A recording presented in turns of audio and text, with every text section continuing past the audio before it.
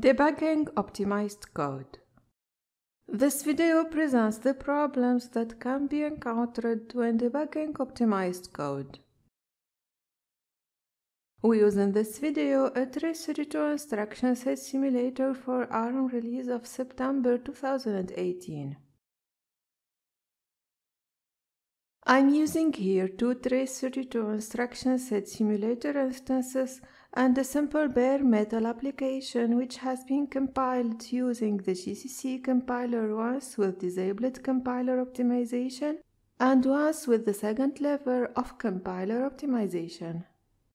I have loaded on the left simulator the non-optimized code and on the right one the optimized code. Let's see now the difference between both cases when debugging the code. If compiler optimization is turned off, the compiler generates a continuous block of assembly instruction for each source code line. We can see here that this code line corresponds to the following four assembly instructions which form a continuous block. If compiler optimization flags are turned on, it is however highly likely that two or more detached blocks of assembler code are generated for individual source code lines. Let's have a look to the same code line in the optimized code. The compiler has generated three detached assembly blocks for the source code line.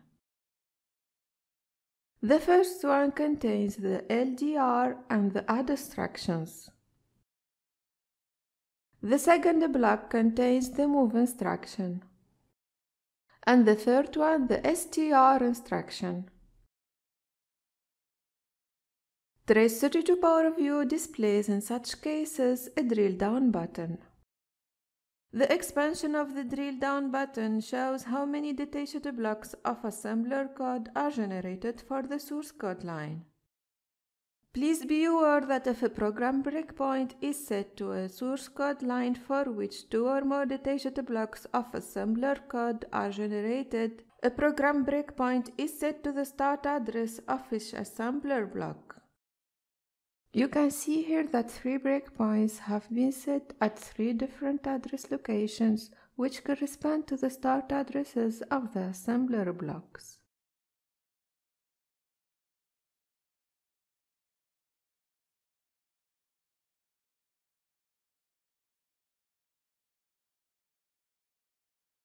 This code reordering introduced by the compiler optimization makes debugging laboriously.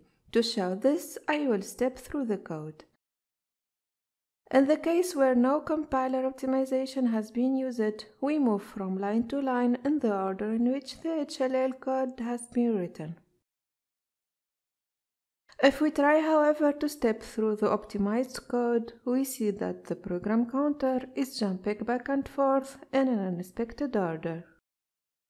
In fact, in HLL debug mode, the source code lines are displayed as written in the compiled program, that is, in the source code order. In mixed mode, however, the target code is disassembled and the source code lines are displayed together with their assembler code blocks in target line order. To make this clearer, I will open two list windows, one in HLL and one in mixed mode. Let's continue single stepping. As you can see in the mixed mode view, we move in the assembler code from block to the next one. The problem is that the source code order does not correspond anymore to the target code order due to compiler optimization and code reordering. The next issue related to compiler optimization is the visibility of the debug symbols. Let's consider the main function which has the following four local variables. We can display the local variables using the var local command which can be opened from the menu var show locals. We see in the case of the non-optimized code that all four variables are displayed. If we step through the code, the same local variables are displayed in the locals window.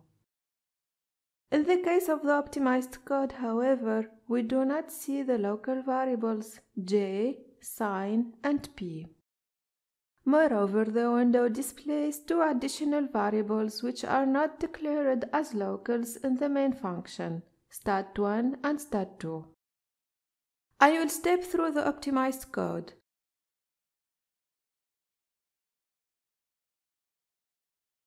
At a certain point, we see that the j variable appears, then disappears.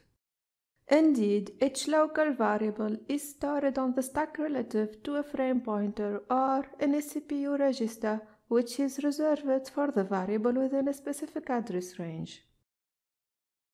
You can display the local variables of a certain function in Trace32 using the menu View, Symbols, Browse Variables, and browse the function of interest.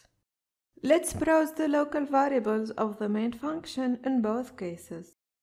We see in the case of the non-optimized code that the main function has four variables in addition to the return variable.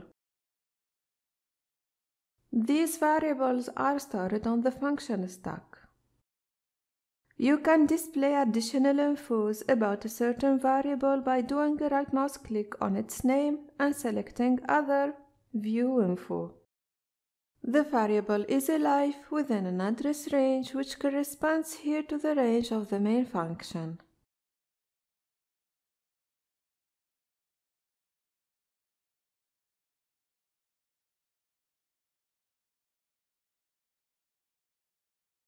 In the case of optimized code, we see much more variables. The reason is that some functions called by main have been inlined by the compiler within the main function.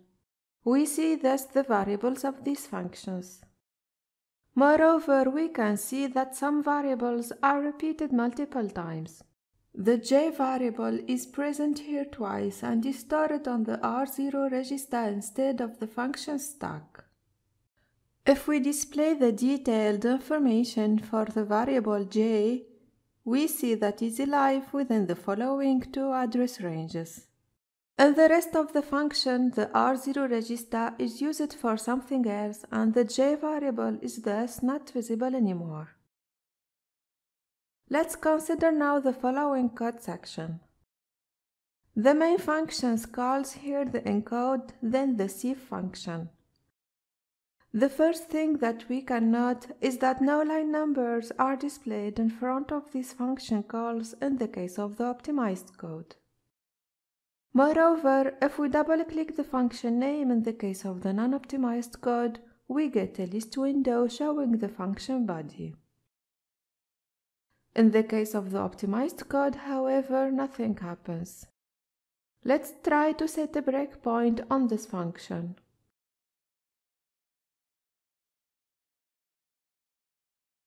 In the case of the non-optimized code, the breakpoint is correctly set.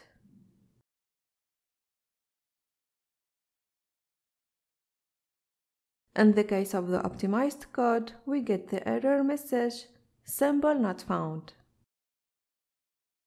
In fact, the compiler optimization has inlined this function within the main function. The function has therefore no address and no debug symbol has been generated by the compiler for it. In other cases, the compiler optimization can even optimize out functions or variables if these are not necessary for the program execution. The best solution to avoid all these issues is for sure to disable or at least to reduce compiler optimization. If this is not possible, then you can at least try to compile single modules or functions with disabled optimization. You can refer to the documentation of your compiler for more information. This is everything I wanted to show in this video. Please refer for more information to the Trace32 documentation. Thank you for watching.